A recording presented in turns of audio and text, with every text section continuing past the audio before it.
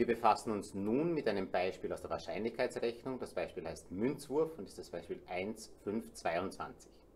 Bei einem Zufallsversuch wird eine Münze, ähm, die auf einer Seite eine Zahl und auf der anderen Seite ein Wappen zeigt, zweimal geworfen. Geben Sie alle möglichen Ausfälle, Ausgänge dieses Zufallsversuchs an.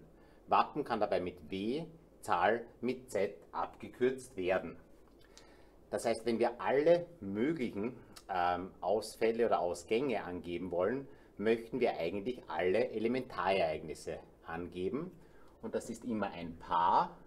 Einmal der erste Versuch, der kann W oder Z sein und dann der zweite Versuch kann ebenfalls W oder Z sein. Das heißt, überlegen wir uns zuerst, wie viele solcher Ausfälle, Ausgänge gibt es denn überhaupt? Jeder der Fälle kann zwei verschiedene Werte annehmen. Das heißt, wir haben zwei mal in der Basis unserer Potenz es sind zweimal, dass diese Münze geworfen wird. Das heißt 2 hoch 2, insgesamt vier Elementarereignisse. Das heißt, was kann sein?